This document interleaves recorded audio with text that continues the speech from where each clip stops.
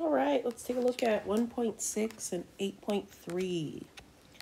These two sections are both looking at complex numbers. 1.6 is kind of a review section, so we'll look at a few of those problems. So if you recall, in terms of real numbers, we cannot take the square roots of negatives. However, what if we come up with a definition and what if we just call the square root of negative 1 i, as in an imaginary number? So that would imply that if I square i, the result is negative 1. So these are two little definitions. So what I have in something like number 1 is I actually have just a multiplication of 2. Those are complex numbers, so you can see how each of those has a real part and an imaginary part. So you've got a real part, imaginary part, and that gives me those two parts make up my complex number. Okay, so multiplying those together is actually really easy. I'm just going to use a FOIL. Okay, so that's negative 6 plus 14i plus 3i minus 7i squared. combining the like terms. And then I have to use my definition. Remember, i squared is negative 1.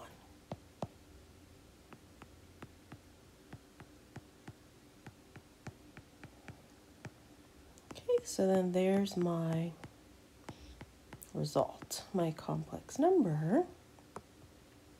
Again, I've written it in this form where I have a real part and an imaginary part.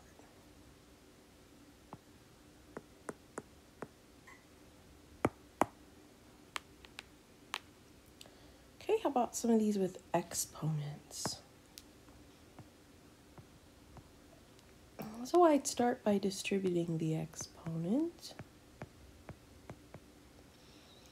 Okay, 2 to the 5th, I think that's 32. And then what do I do with the i to the 5th? Well, the thing is, I know i squared is negative 1. So if I could find i squared in here, that would be useful. Now, because 5 is an odd number, what if I start by just breaking that up? Isn't i to the 5th i times i to the 4th? Because you see how here I have 1 plus 4 would give me back i to the 5th.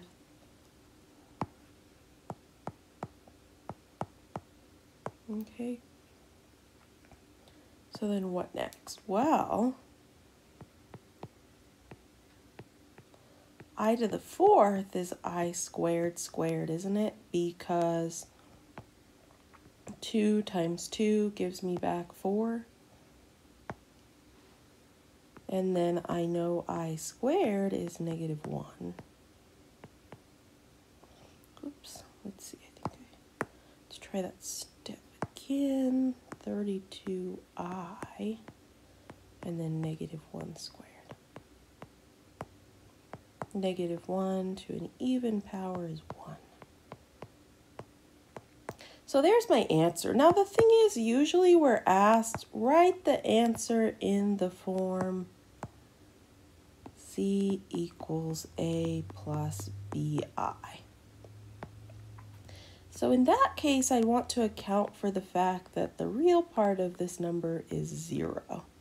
So I would include 0 there just as a placeholder, and that's so that my answer is written in the correct format.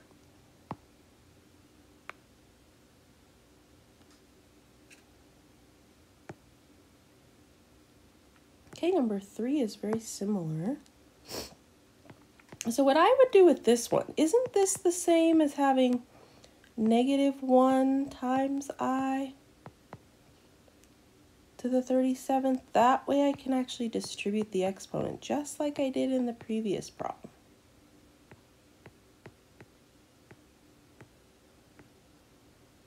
Okay, and then negative 1 to an odd power is negative 1. Break up my i to the 37th is i to the 36 times i to the 1 because 36 plus 1 makes 37.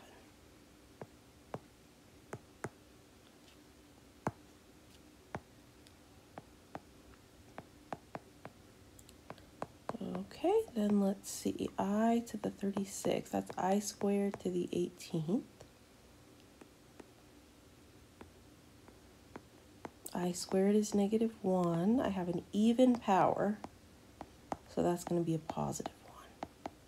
So the result is negative i. Now again, just to account for the real part of that number, I'll include 0 there as a placeholder.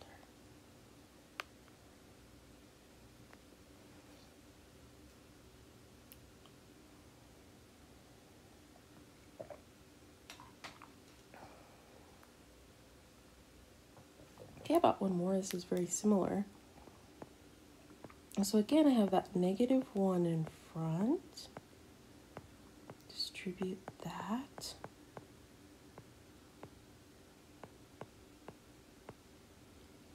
Negative 1 to an even power is 1.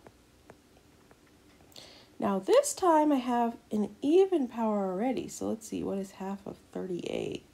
19?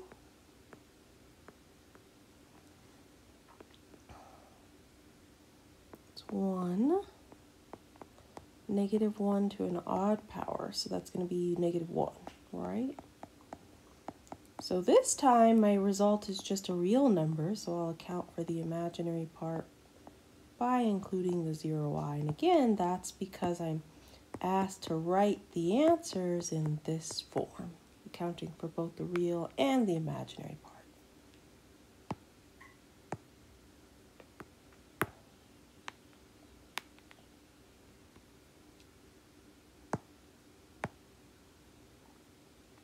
Okay, what about dividing? So the goal when I'm dividing is to get rid of the i in the denominator. So it's kind of like when we had square roots in the bottom and our goal was to get rid of the square root in the bottom. So the way we do that is we multiply by the conjugate of the denominator. Okay, so in this case, remember the conjugate, I just changed the middle sign. So it's going to be 3 minus 4i. And I'm going to multiply by that top and bottom.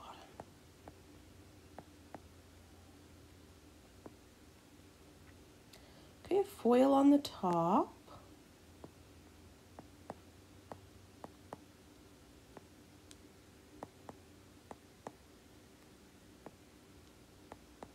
make sure I got all right.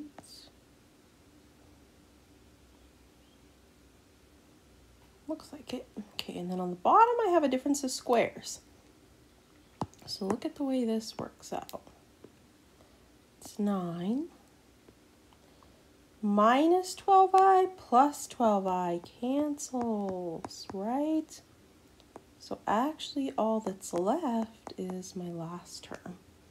So that's why this process works, because I actually end up with a difference of squares there. And I am able to cancel out those middle terms. So now let's simplify it.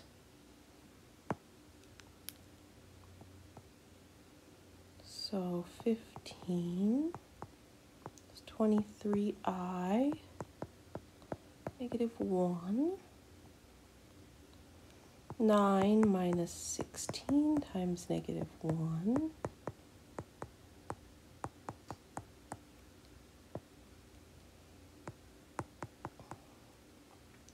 So you see how I no longer have the i in the denominator. Okay, and so then we typically break this up. That way we have the real part here and then the imaginary part here. And we have our entire complex number.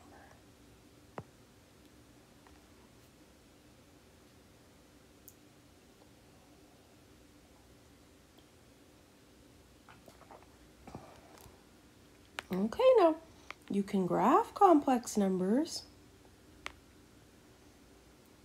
We just change the interpretation. In other words, we change the coordinate plane. So instead of representing, you know, the x and the y axis, now what if we let the horizontal axis be the real axis and the vertical axis be the imaginary axis? Okay.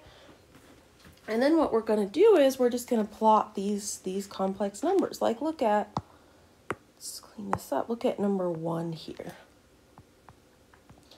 So the real part is one, the imaginary part is two.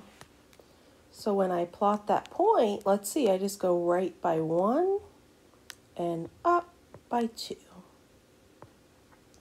Okay, there's my first complex number, Z1. It's very easy. Okay, what else does it say? Let's see. Find its modulus and its conjugate. So we've talked about the conjugate before. We just did, in fact. So for Z1, let's see, the notation for the conjugate is the little star. So for Z1 star, the conjugate is 1 minus 2i. Okay, now I could even graph that guy. See, it'd be right here, right? That'd be Z1 star, the conjugate of Z1.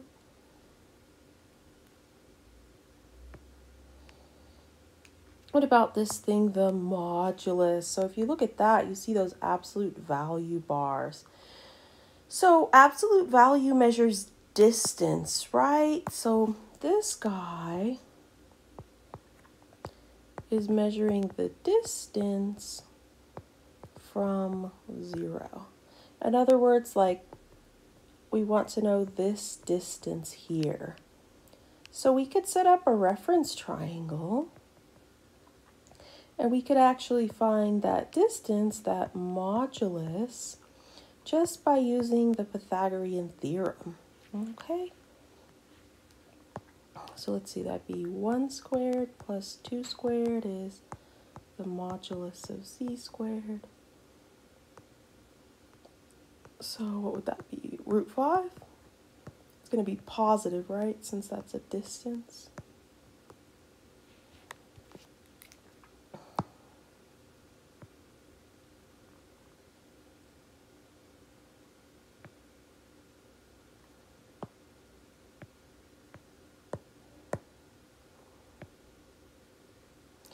Let's see what else there is. Let's plot Z2. Should I use a different color for, for Z2? Let's try that one. Okay, so I have to go left by square root of 3. That's like 1.7-ish. And then down by 1. Okay, so somewhere over here, about here, say. There's Z2.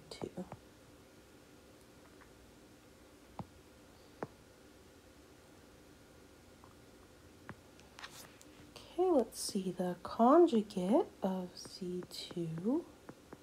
Change the middle sign. And I could plot that one.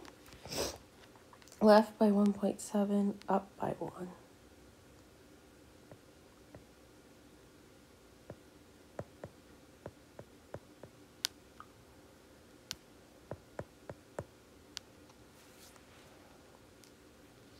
Okay, let's find the modulus, so this distance here. So let's see, I have negative root 3, negative 1.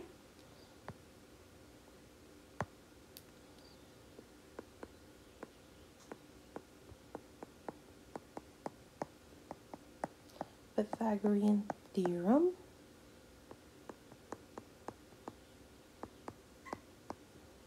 That modulus of Z2 would be 2.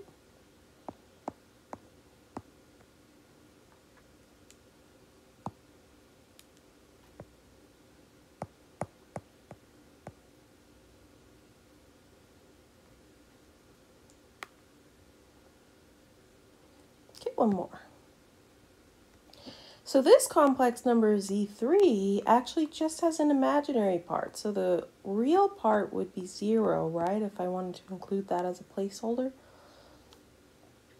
Oh, so let's see, should I choose a color for this guy? Let's try that one. So to, to graph that guy, I would go left and right by zero and down by four. Okay, so there's Z3. Okay, what about the conjugate of Z3?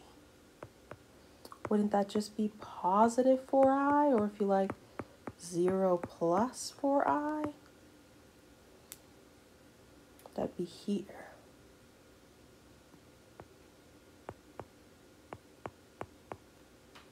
Okay. Well, the modulus this guy actually is on the imaginary axis, so can't I actually just count that distance? One, two, three. It's four units, right? I don't even need to do a calculation.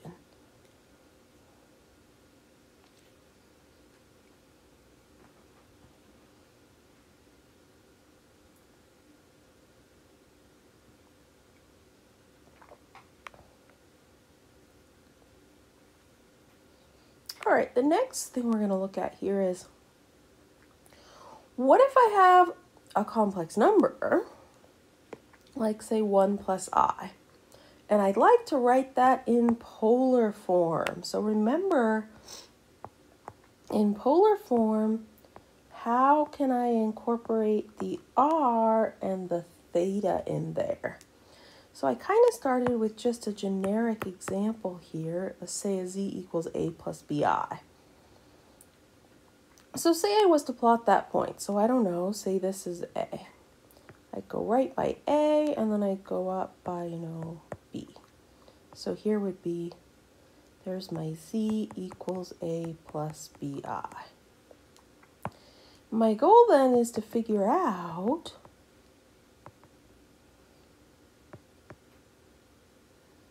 let's see, the R and the theta. So this side, length is A. This side, length is B, right? And so what could I do there? I guess I could say, well, a squared plus b squared is r squared.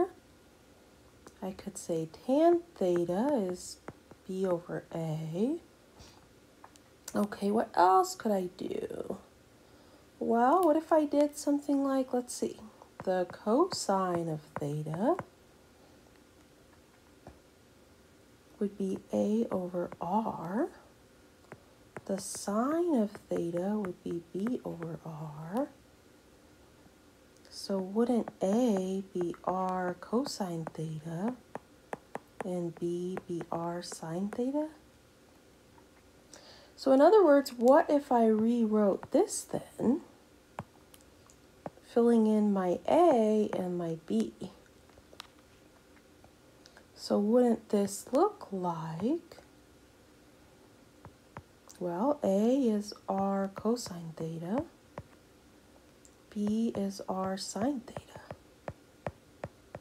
And then times I. So actually that is my polar form. Let me maybe rewrite that up here. Okay, so the polar form of a complex number just looks like, now I'm looking at this, right? Normally what we do is we factor out the R. So it looks like this. So there's my polar form of a complex number. Maybe box that.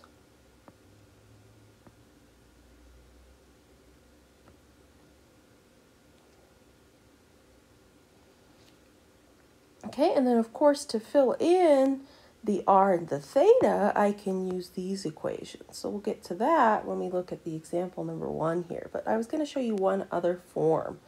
So it turns out that if I have an exponential,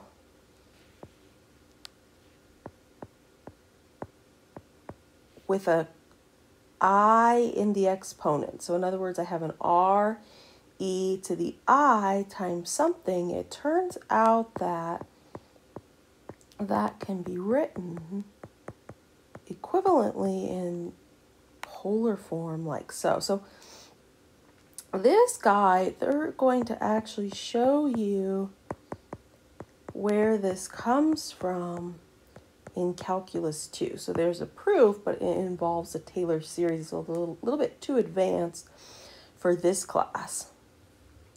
So for this class, we're just going to assume that this is true, okay? Assume this is true because you will see the proof of that later. So that means then that, that I can use my equivalent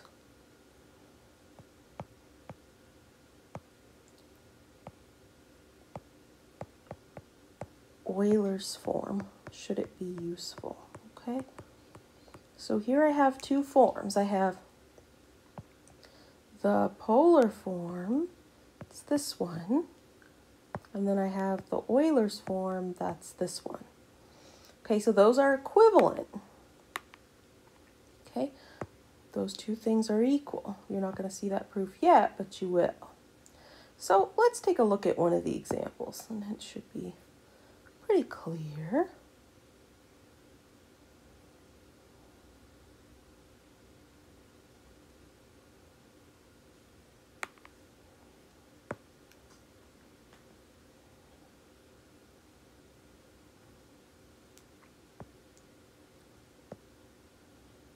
Okay, so maybe I would start by graphing the complex number.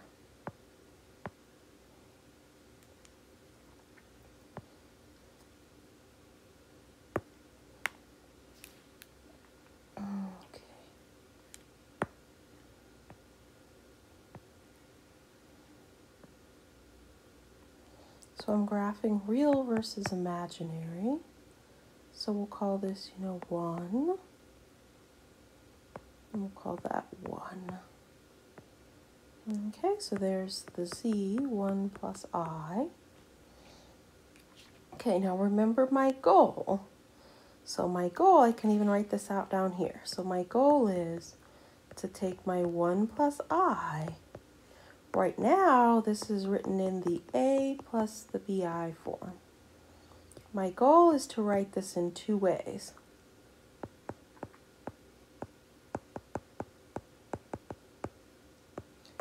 Okay, this is the polar form.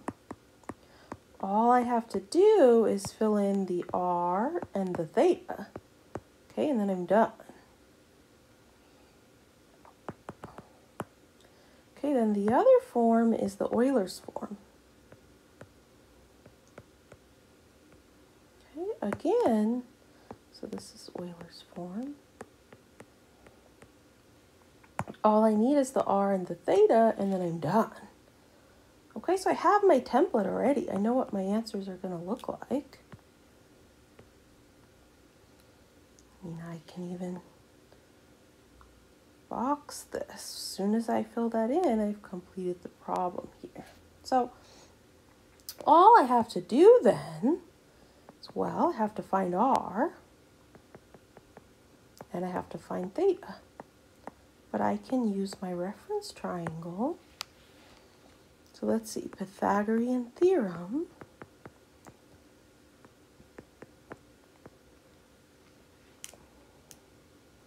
Now, I mean, I guess you could have, you know, a plus or a minus there. So I guess to keep things simple, let's go back and do what we did in the previous section where it says, write the complex number in polar form, let's say with r positive and theta in between 0 and 2 pi. That way we have kind of the primary version. We don't have several different representations. So in that case, that means I'll pick root 2, positive root 2. So there's my r. Let's fill that in in both of these. Then I just need to find theta. So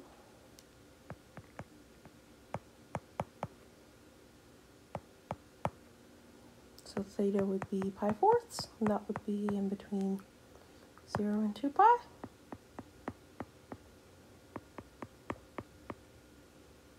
So there I have it, all three forms.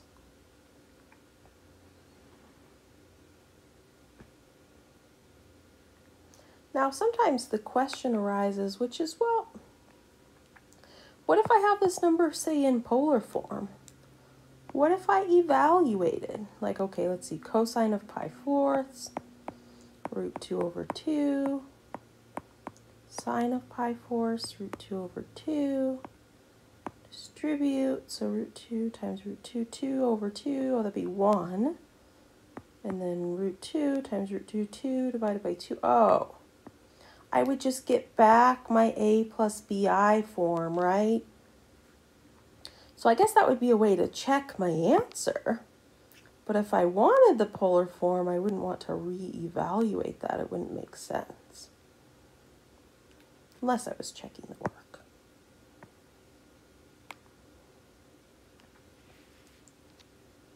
Well, let's start by getting a rough sketch again. Of which quadrant this guy is in at least.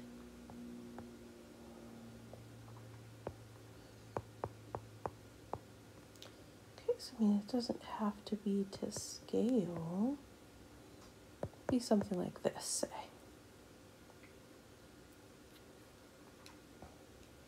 Okay, and then I have a reference triangle. Okay, so Pythagorean theorem.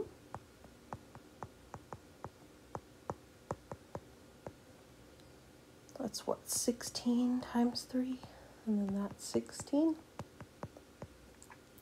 So I like to keep the numbers small. So I've got 16 times 3 plus 16 times 1. So I've got 4 times 16 there. That way when I take the square root, I can just take the root of each of those factors. Should I write out my template here?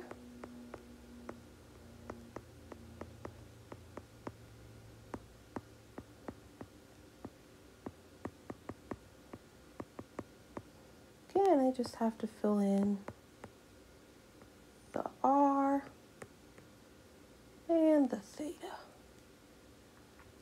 So the R is 8. Let's get the theta.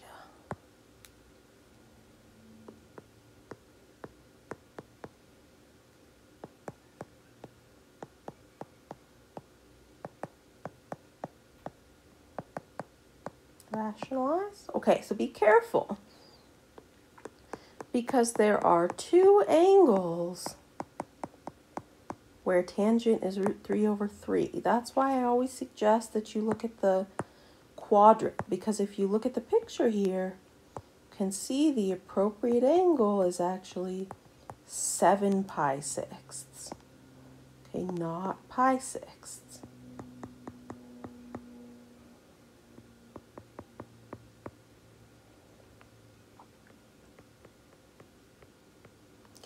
So here's my complex number. It's written in all three forms. Let's see, this is the A plus BI form. It's the polar form. That's the Euler's form.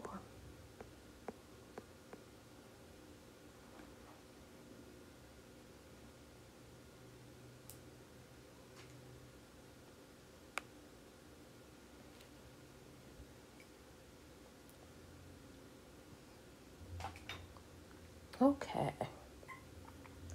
So then why are some of these things useful? Well, actually, the polar form and especially the Euler's form is useful in doing calculations with complex numbers. So if I start with something like this, here I want to multiply these two complex numbers z1 and z2. I'm going to start by putting these in Euler's form. So that's very easy to do. There's z1. And here is z2.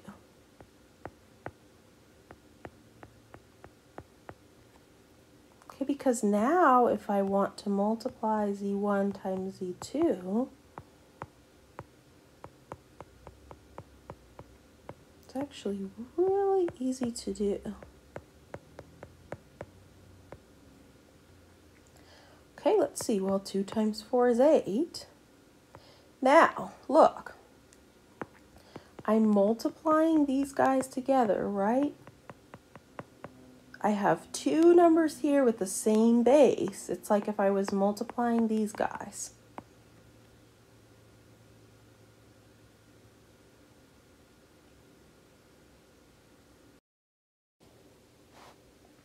Okay, where were we? So multiplying x squared and x to the fifth, I add the exponents, right? So I would do the same thing here, yeah? Now these are like terms. They're both in terms of i, right? So I'm really just adding the coefficients. Let's see, a half plus a fourth, two fourths plus one fourth, three fourths.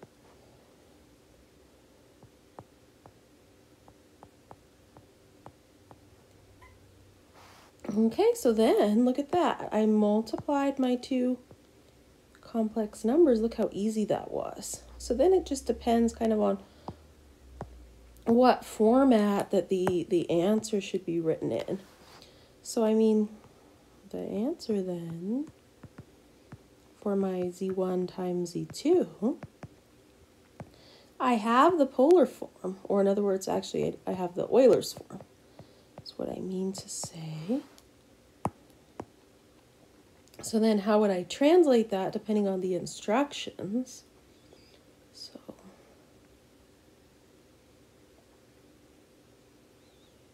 So that's this is the Euler's form.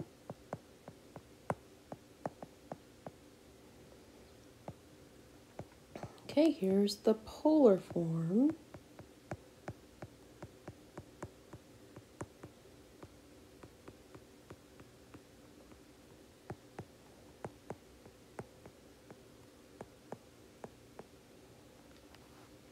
Okay, and then the last one would be the A plus BI form. So to get that, I would actually evaluate. So what is, let's see, cosine of 3 pi fourths,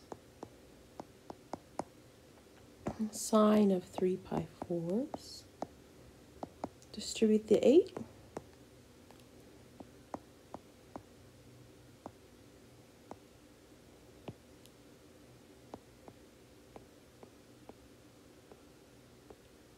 Would look something like that.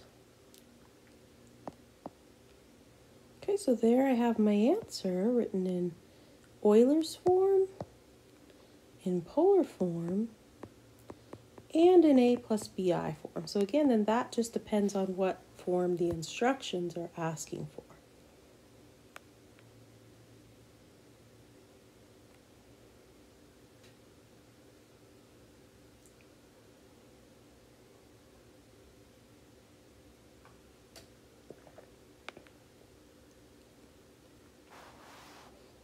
I can divide complex numbers the same way. So here I've got a z1 and a z2. I would start by going ahead and writing those in Euler's form.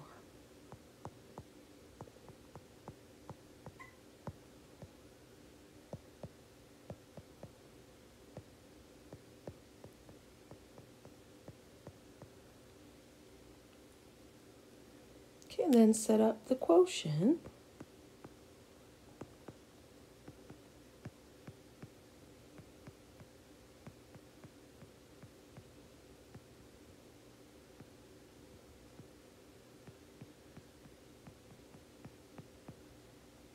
Okay, 4 divided by 8 is a half. Now, looking again at these exponentials, I have to think about exponent rules. So I'm dividing that guy by that guy. So compare that to if I was dividing like, you know, x to the fifth over x squared. You subtract, right? Okay, so I'd have let's see, 3 fourths minus 5 fourths is negative 2 fourths. Or negative 1 half pi.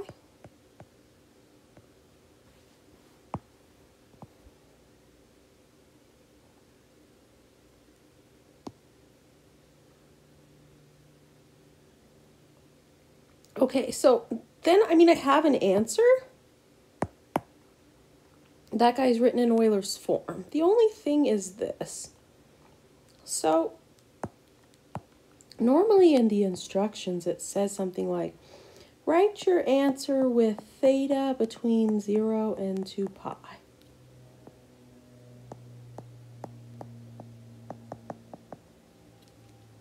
Okay, so you see my answer there now negative pi halves is here, right? So I would just need to adjust that answer so that it falls in the correct set. So I would need to write instead of negative pi over 2, I'd need to write that angle as 3 pi over 2. But that's not too hard to adjust.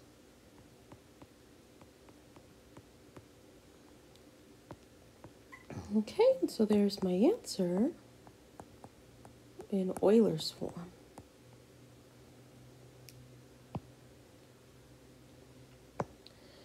So then it just depends again on what format we're looking for. So you can rewrite this.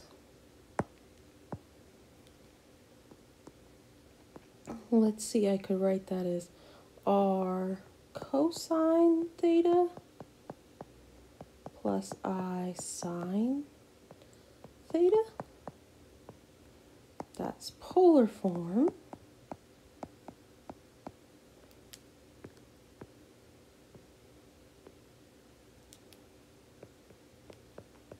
I could evaluate, let's see, cosine of 3 pi over 2, 0. Sine 3 pi over 2, negative 1.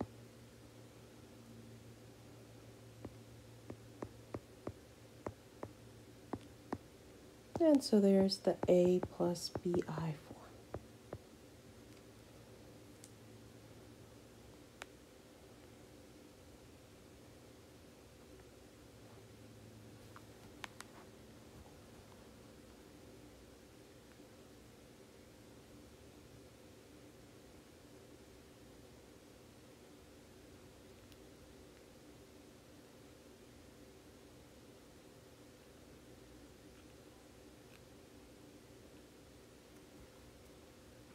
Okay, what is one more thing you could do?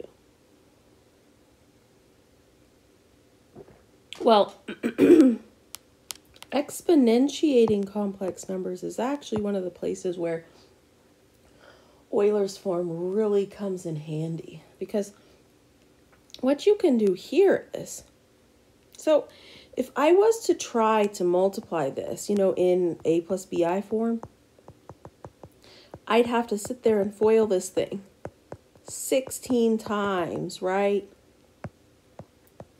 I don't want to do that.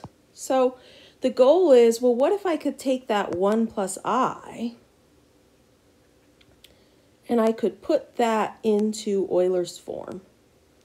So let's do that first.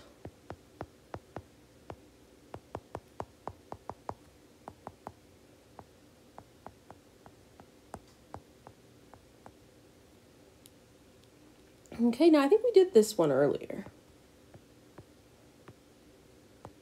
So I mean, there's say 1 plus i, and I think we had found the radius was root 2, and the angle was pi fourths. Okay, so my 1 plus i written in Euler's form looked like so. Now you can look back earlier and see more notes on that if you need to. Okay, so now that I've put that in Euler's form, then I'm going to calculate my z to the 16th. So I'm going to take that, Euler's form,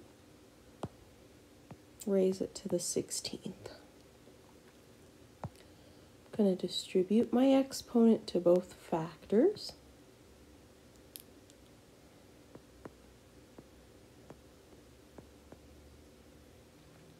Now, here what I have is I have power to a power.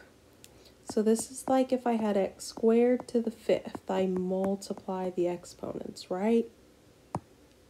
Okay, so that means I'm multiplying my i pi fourths times my 16. So I can cancel, right? That's 4 pi i.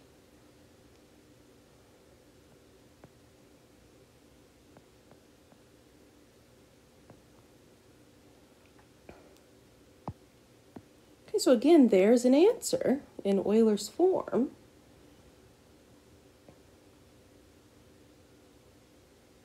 Then I just had to go back and say, well, remember, we want to write our answer with theta between 0 and 2 pi. So then let me see here. 2 pi, 4 pi is here, right? So other ways of representing the angle 4 pi would be the angle 0, 2 pi, etc.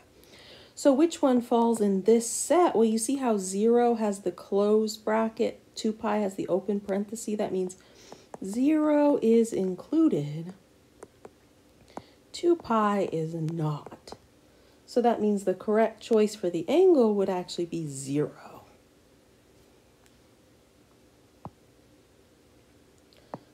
And then I should simplify, I guess, my root 2 to the 16th.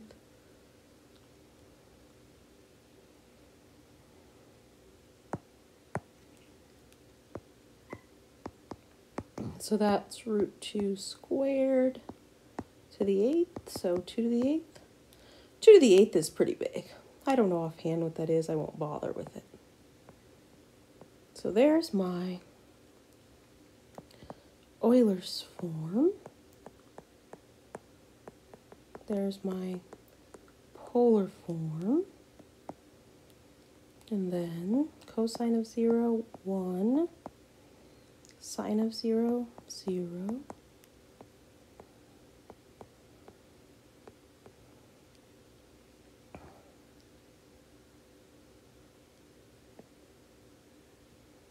Okay, so here's my Euler's form, my polar form, and my A plus BI form.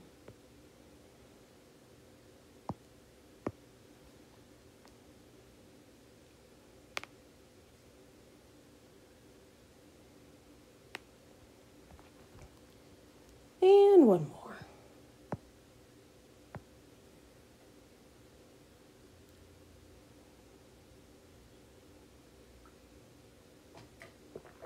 Okay, so here's a z. Find z to the fifth. Okay, so again, the first thing I would do would be put z in Euler's form.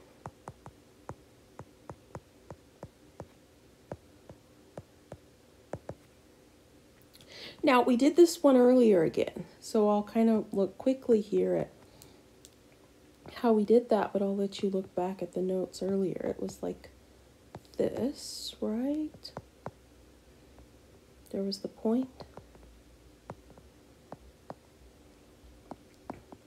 Okay, and we did the Pythagorean theorem. So that was 16 by 3, 16 by 1. That's 4 times 16, so then well, R was 8. And then we said tan was negative 4 over negative 4 root 3, so 1 over root 3 root 3 over 3. And then we said because of the quadrant, correct choice of the angle was 7 pi sixth. So that means in Euler's form, my z was 8e to the i 7 pi 6. Now again, we did that part earlier. So I'll let you refer back up to those notes if need be. Okay, the more interesting part of this guy is actually our goal is to find z to the fifth. Okay, so now I'm going to go ahead and exponentiate.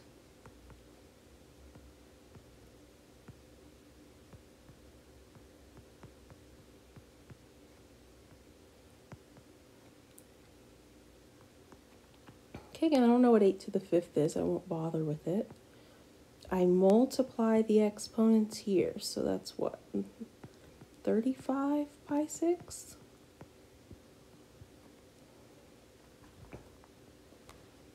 Okay, then again, I, I mean, I've got an answer, but 35 pi 6. So I need to reduce that, right?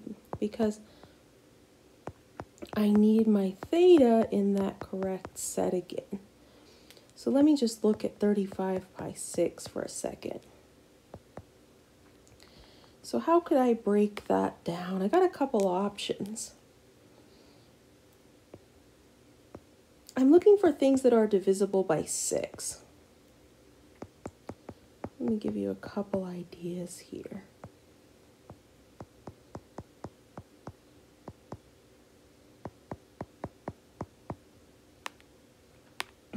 Okay, there's a couple ways I could write 35 as a sum. There's a difference. Okay, let me look at those. All right, 30 divided by 6 is 5. You have to be careful with this one because you see how here I actually am left with an odd multiple of pi. Okay, remember odd multiples of pi contribute that term of pi in there. So actually here I'd have, let's see, 6, 6 plus 5, 6, 11 pi 6. So I would conclude that 35 pi 6 is coterminal with 11 pi 6. Now if you use this setup instead, if you say 35 6 is 24 6 plus 11 6, well, 24 sixths is actually 4 pi. So you see there I get an even multiple of pi. So this guy can actually just disregard because I've actually gone two full rotations around the circle. So in this case, I could see immediately that 35 pi 6 is coterminal with 11 pi 6. So same conclusion. Here's even one more thought. Which is what if I write the 35 pi 6, that's 36 6 minus 1 sixth. So 36 6 is 6 pi, right? So again, there I have an even multiple of pi. So that I can disregard. Okay, so what do I know so far? I know 35 pi 6 is coterminal with negative pi 6. Now, negative pi 6 is still not in the interval that I'm looking for. However, I know where uh, negative pi 6 is. And so I could conclude that the correct angle would be 11 pi 6. Okay, so these are all different ways to reduce that 35 pi 6 so that I have something in the correct interval.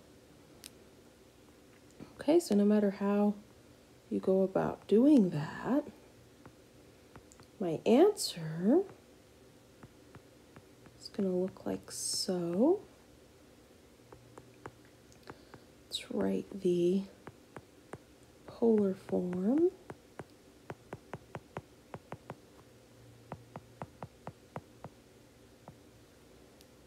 Okay, and then should evaluate to get the A plus BI form.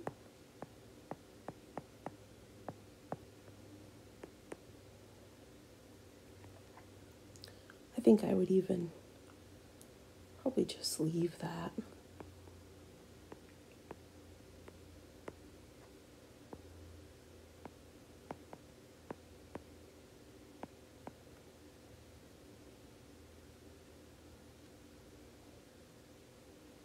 Okay, so then let me box my answers. There's Euler's form.